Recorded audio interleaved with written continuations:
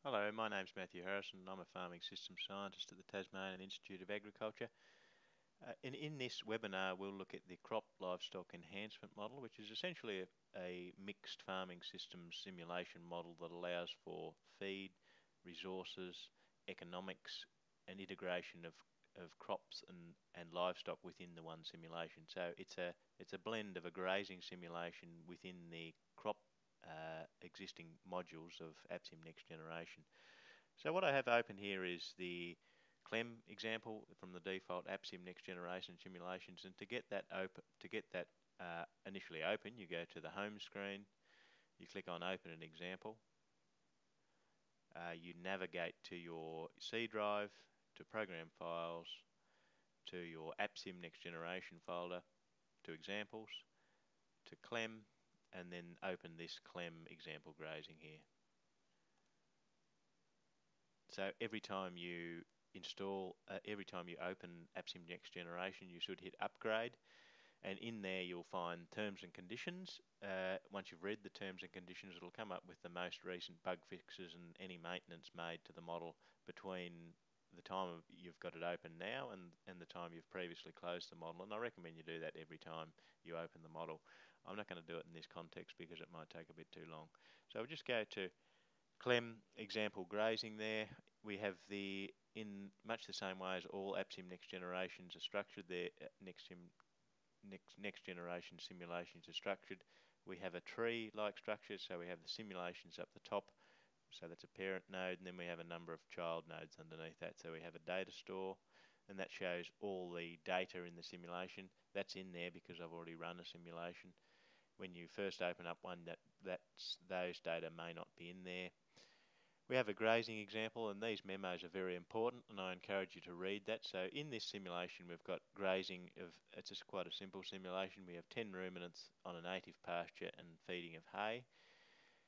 Now we have the grazing node, and within the grazing node we have the the actual the simulation details, which are specified by these components here, and then the crop livestock enhancement parts in here, and we'll go through each of these in in a stepwise fashion.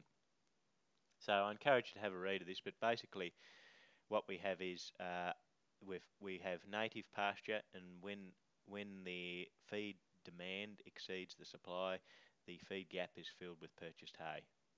So I'd encourage you to read over those details. And then when when excess animals reach a, reach a certain age, they're removed or sold from the simulation. Uh, breeding is assumed to be done by artificial insemination, but you can change that as well.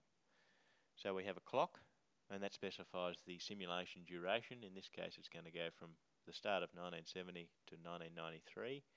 We have a summary file, which is always good to look at when you've run your simulation.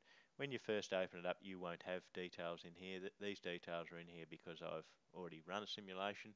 Uh, but I'd encourage you to look at that, look at uh, the simulation log after you've run a simulation, and you can you can hit this here, and it goes to specific areas. So it'll give you, for example, warnings, and warnings will allow the simulation to run. Errors will stop the simulation, and the error will be shown down here in this space here. We have random numbers. Uh, this is essentially a, a, a seed generation number. Uh, if you want to use the clock, which, I, which I'd probably encourage, you specify this value of zero, but of course you can change that value. If you right click on this, on any of the components, if you right click on this component here, uh, and this goes for all APSIM next generations, you'll see this add model uh, option here, and if you just go to that, it'll bring up a number of different other options within the next APSIM next generation uh, module structure. So you can add any of these components from agroforestry, agroforestry, but particularly in the in the context of this simulation, you might want to look at the Clem example. So we have Clem folder. We have different options for reporting, and you can drag and drop these, any of these on the simulation. So you simply drag it and then drop it on the simulation in the in the appropriate spot. So in this case, we have Clem. We have each of the options here, uh, and these options here would go in the reporting folder within your Clem module. So you just drag it over there and then drop it on the appropriate spot. You also have other a number of different other options. So we have graphing options, we have other components from other module, module structures, and some of these, a lot of these won't work within the context of a Clem simulation. So I encourage you to keep it simple in the first case. These reporting options are quite useful, and they will work in the context of this of the clem simulation. So we just if we just click back here, it'll go off that grazing thing. Uh, if we go down to clem, now the way clem's organised is it has a, a basic summary the top level of the parent node of all the child nodes within it. So it's got it's saying because I've already ran this simulation, it's saying the simulation was successfully run at that date on that time, but it's giving us a warning. Uh, and you can go into the details here. We have a, a, more detailed summary here, and we have this is where you actually have the option to change the input. So, for example, a farm multiplier to supply and receive from market, which is set from 1, you could set that to any other value. A climate index region, uh, end of month uh, parameters, for example, and you can do this for any of these uh, options within this clem component as well as other options. And I'll go through some of them examples in a second. Now one thing you might like to note, if you open up this example from the example folder as I've done, your AppSimFighter probably won't be pointing to that. So you need to be able to, because it's green, it's saying it's fine, I can see that file. But if it's red, it's going to say, well, I can't find that file, and it'll give you an error down here. So the way you change that, as I said before, this is the summary. And so you often think, oh, well, I'll click in there and try to change things, but you can't. So the way you change things is in here, in this properties node.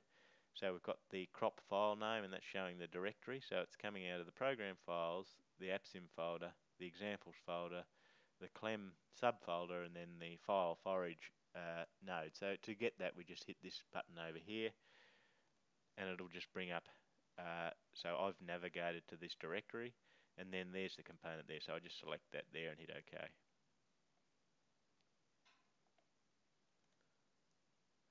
So now we just go back here and each of these are organized into, again, in the same way. So we have a parent folder and then we have a number of child nodes underneath that. So we have the summary for the resources and then we have this, in each of these components we have previous versions. So that's showing bug fixes in, in previous versions and you might like to note the version that you use for any simulation because as it changes over time, the, your simulations will also change over time uh, the, some of the numbers that come out of your simulations will change. So that's useful to keep track of. So in the resources, and you can change and delete any of these. For example, I'm not particularly interested in finances, so I'm not going to pay too much attention to that. We have land area, we have ruminants or livestock. We have our we have our grazing food store and our animals food store. So this is pasture-based feed and this is external feed. So if we go to land and click on the top level, it's saying it's reported in hectares the land area is 250 hectares and the land it, this this is just essentially an identifier here and you can change that number by clicking on properties or actually sorry the top level of versions. Um, where did I change it? It's in one of these components. I can't actually find it now. We go to properties and it's in here. So it's in the it's in the child level. So if you go to paddock it's essentially a land type ID and you can change that number by changing it there you can also change the land area and these other parameters. We go back here, we have finances, and this is giving you a, an overall summary. So we've got 100,000 in the budget, we have an interest rate, and 2% is paid. The resource is is the resource is measured in saying not specified. So when it's red, that means it's an error, and we have to point to where that actual file folder is. So I mean, as I said before, in a in a context that I was interested in economics or finances, I would go into these details, but I won't go into it into the details in this webinar. So if we go back to ruminants, we can see the the way the herd is structured is that we have Bos indicus, which is a generic cattle breed, particularly in northern Australia. Uh, we have the herd, the initial cohort, the initial herd structure. So we have female weaners, we have male weaners, we have three males aged 3 to 4 and males aged various ages. So we, we can see their ages here and their nominal weights at the start of the simulation as well as other details and you can scroll through these here. So we're saying for example for the weaners which are that class of animal aged less than 12 months we can buy and sell them whereas for females aged 1 to 3 we're only buying them.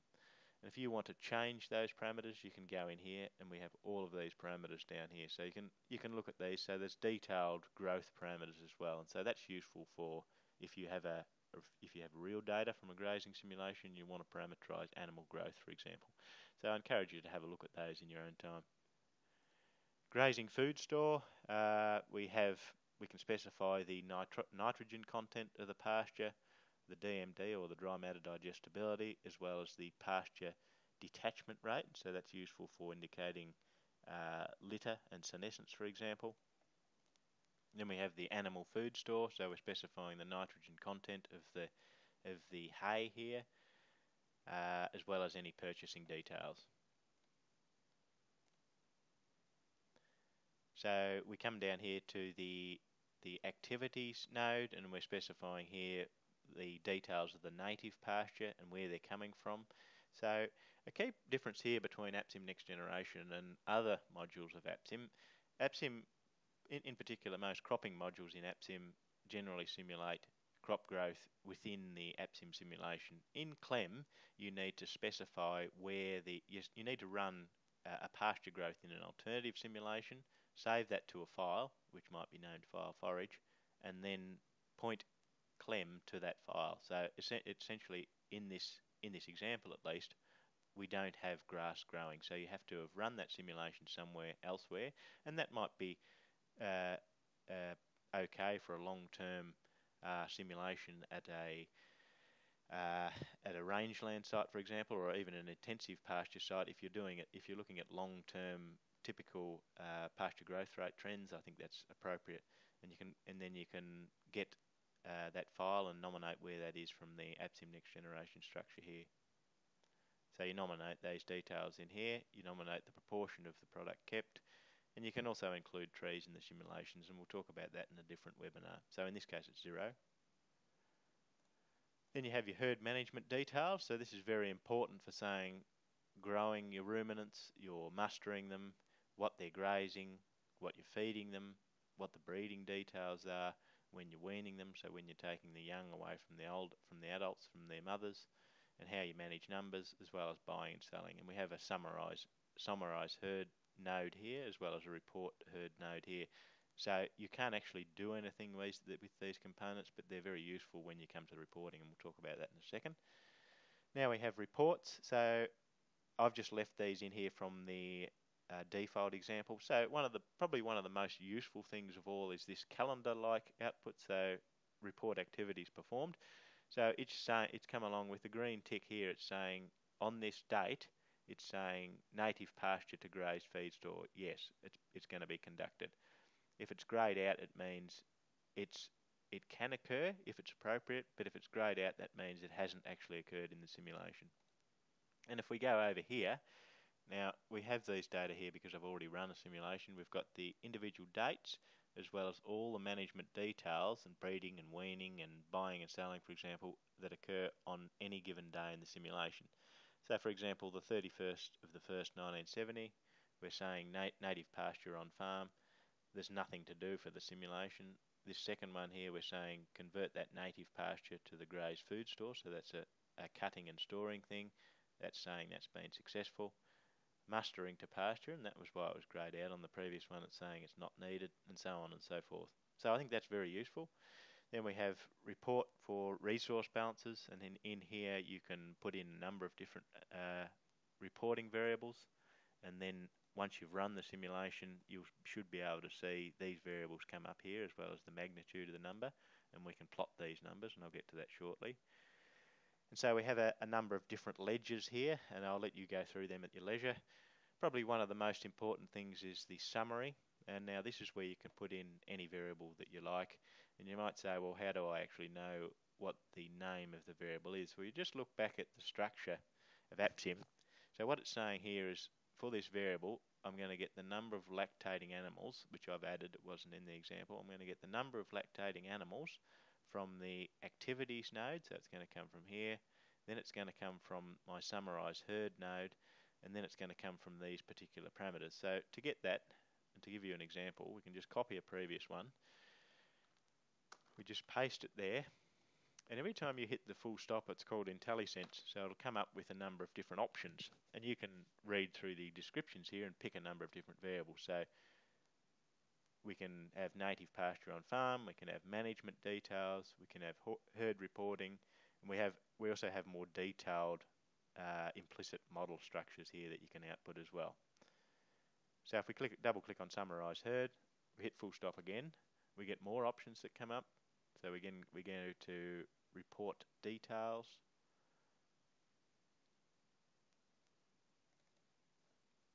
Hit full stop again. Uh, now, a lot of the variables are reported here, so just for an example, uh, we might want the yeah, so all of these variables are reported above. So we might just, for example, say we want average intake. And this is the APSIM name of the APSIM variable. It's obviously a bit clunky to report in the when you're selecting it in the reporting variable. So you you nominate a variable name or a pseudo name for which you want to uh, plot that in the output file. So we can just say as, uh, and then we might say average intake. It doesn't really matter what name, just as long as you know what it is. Down here we have the reporting frequency, and so this is coming from the summarize herd component, and it's saying every time, every day a report item is generated, uh, output these variables. And so you can change that as well. In this case, I don't think there's any other options, but in other cases you will have options. Yeah, so it's only got one option there. Double click on that. So if you wanted outputs only yearly, you can also change this as well. So it, that and that might be more appropriate. You might not want to look at daily outputs. So once we've done all that, we get down to the bottom, we have graphs, uh, and we have income and expenses, animal numbers, and we'll look at those shortly. So to run a simulation, you just right click on the top level, go to Run APSIM, and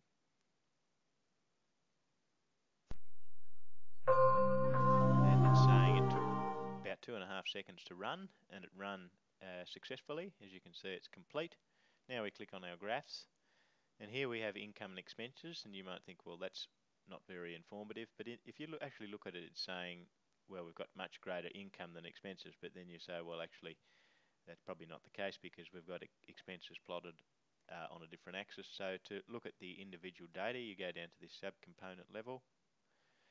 Now, you've got to uh, look carefully at where this data has come from if you want to change the variable. So we have uh, the data sources come from the finances ledger. And if you, if you click these options here, you can get a number of different data sources. So if you look at the finances ledger, wherever it is, it's come from in there. So we're saying report finances here is our finances data. So we have gain, losses, resources, for example. So each of the components in this in this graph has come from the finances ledger. And you can look at each of the data in here and you might want to plot different examples. So uh, if we just go back to this example here, uh, we want to look at uh, uh profit loss. So one thing here is that it's it seems to be on a different, it's, it seems to be on the same axis, but it's much smaller than the income. So we might say on right, and we can then see that our loss is ranges between zero and negative a thousand. But just be careful when you're comparing these. So the green bars are uh, plotted on the on the left axis, and the orange bars are plotted on the right. If we go expenses associated with hay purchases, uh, you can obviously change the plotting details in here. Um, and we could also choose to plot that on the right axis and you can see then that it's expenses associated with hay are relatively small compared with income, so 15,000 here compared with negative 100 to negative 300. And so you can manipulate those graphs by changing these different filters here. Uh, one graph I've added here is I've said, well, how can I actually get age numbers? So I went back here and I copied this one here and I dumped it on graphs there to add an additional uh, graph. And then I've gone back to age group. Uh, now I've changed my data source to herd summary. Uh, I've got X, I've got the clock on the X-axis now I wanted the age group and obviously you've got all those variables that are associated with your herd summary and we looked at those before. So you could say, well I want to look at average weight, I want to look at average weight gain and so that's different. So in this case it's plotting the green variables. We'll just go back to average weight. Uh, so we have age group. So I should put that back to age group. And we have average weight in the green. So age average weight is obviously compressed here because it's on the same axis. I'm just going to leave it down there because it's a bit harder to see. So as you can see that the simulation is working well. So what it's doing is an animal is getting born, it's going from about 50 kilos up to about 600 and then it's flatlining and you can see the larger mature animals up here. This is obviously where an age group is getting sold off. Then more animals get born in the following year and you can see differences in growth rates between years. And if you want to have a look at the details in individual simulation, you can actually, you know, you might want to go back here and change the clock run it for a shorter time, or you might want to change the reporting uh, the reporting frequency back in here, so this variable here. So that's about all I wanted to say for today. Thanks for watching this webinar, and I'll see you next time.